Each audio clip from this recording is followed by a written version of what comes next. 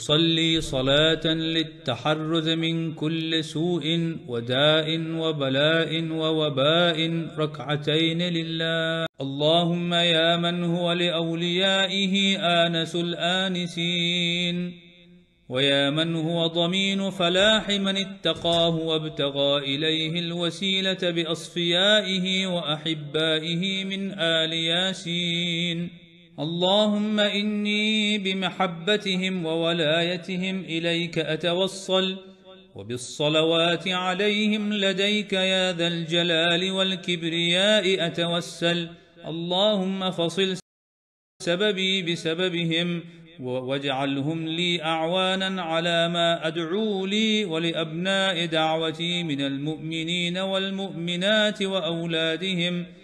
وأسعف بحرمة موالينا هؤلاء الكرام جميع آمالي وآمالهم وآمالي في إرفادهم.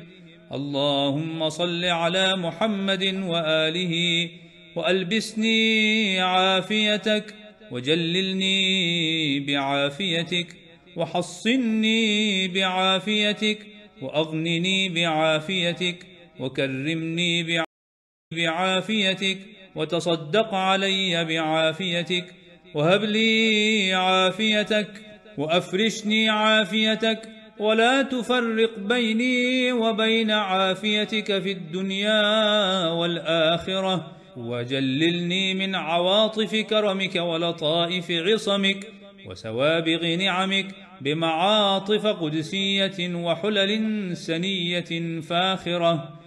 أسألك يا رب أن تجعل الشر تحت أقدامنا والخير بين أعيننا وأن تفيض الحكمة علينا وتميل بالنعمة إلينا. اللهم وق أنفسنا بكلماتك التامات المباركات المقدسات الطاهرات من شر كل دابة أنت آخذ بناصيتها ومن شر كل أزمة أنت أدرى بداهيتها ومن شر فتن الأيام وطوارقها ومن شر دواهي الأزمان وبوائقها ومن شر ما ينزل من السماء وما يعرج فيها. ومن شر من كان مفتنا خبيرا ومن شر من كان مفتتنا سفيها. اللهم إنك لنا في جميع أمورنا نعم المولى ونعم النصير. والله يقضي بالحق والذين يدعون من دونه لا يقضون بشيء. إن الله هو السميع البصير.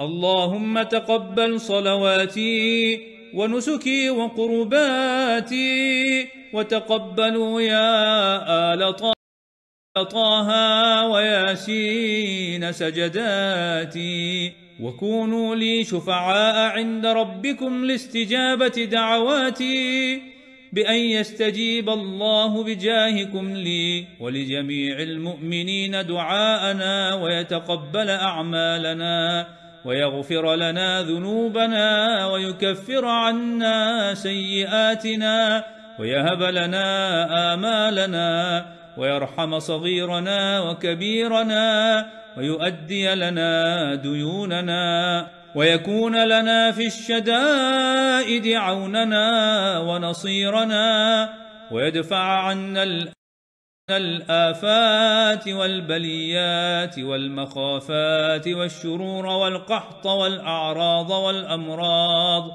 والوباء والضيق والظلم والصمم والبكم والعمى والحرق والغرق وسائر الآفات كلها لا سيما عن هذه البلدة وسائر بلاد المؤمنين والمؤمنات ويرزقنا رزقا حلالا واسعا طيبا.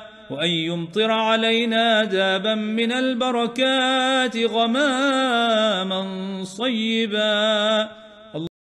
اللهم صل على محمد وآله الأئمة الطاهرين الباطنين منهم والظاهرين. ودعاتهم السادة الجلة العلماء الماهرين وقادة الملة المتجلين لهداية الخلق كالنجوم والأهلة الزاهرين.